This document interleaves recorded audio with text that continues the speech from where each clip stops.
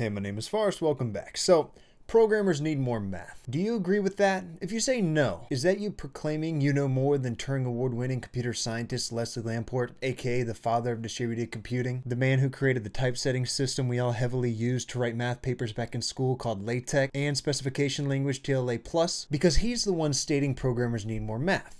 But why? Well, it all stems from the problem, a fundamental issue that Leslie Lamport points out in his interviews, in how programmers approach their work. He says most programmers just start writing code. They don't even know what the algorithm is. It's like starting to build without a blueprint. But wait, I, I'm not really writing any groundbreaking algorithms that use intensive math. And the algorithms that I do use, well, this Redditor actually said it best. The standard library of modern languages have good enough, near perfect implementations of every algorithm commonly used in computing. The edge cases that aren't in those libraries are not seen by 95% of software engineers. But you have to realize that Lamport he's not really talking to us. He's focusing on those working on complex systems, particularly distributed systems, since that's his area of expertise. Those building critical infrastructure where correctness and efficiency are most important. But that doesn't mean this advice doesn't apply to us, because actually, it does. You see, this approach, just writing code without understanding, it leads to several problems. Lamport says the program is hard to debug and inefficient because you would be trying to optimize at the code level rather than at the algorithm level. We should do what almost every other field of science and engineering does,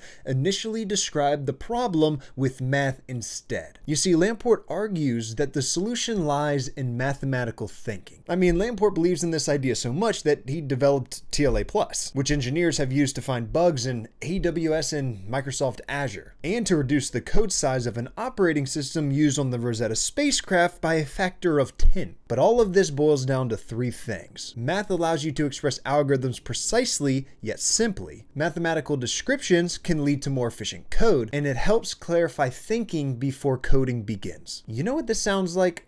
A very specific use case of writing pseudocode before writing real code. And I don't know about y'all, but when I was learning how to code, I had multiple professors teaching me just this. Instead of getting bogged down by the syntax that you don't understand yet, take a step back, focus on the logic and the overall structure of the program. That right there is a piece of advice for all new programmers out there. Don't focus on the syntax, focus on the logic, write pseudocode, then write real code. And as you get better, you won't need to do this for the simpler things anymore, just the more complex things. And that's where Leslie Lamport's idea of mathematical thinking can be applied to any programmer. And his idea of programmers needing more math, that is just a way to have a deeper understanding of what you're trying to do and solving it with math precisely before worrying about the syntax and writing it in code. But this whole topic raises another point, and that is math's place in software development. That's why I get so many questions like, do I need to be good at math to learn programming? The answer is no.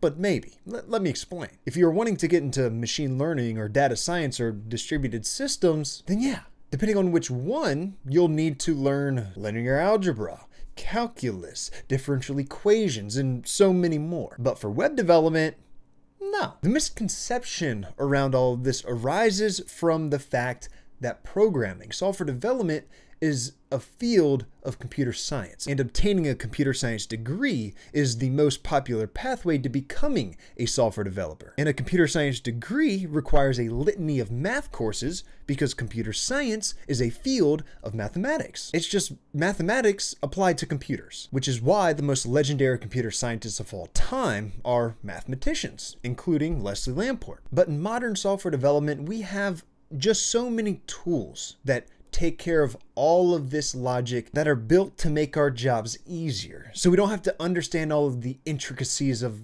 let's say, a sorting algorithm because I just use dot sort and that's it. However, if you're the one building these tools that handles all of this, then well, you're probably going to have to understand how some of these work so you can make sure that dot sort is the most efficient in the most use cases because, well, obviously, that's what you want. So do programmers really need more math?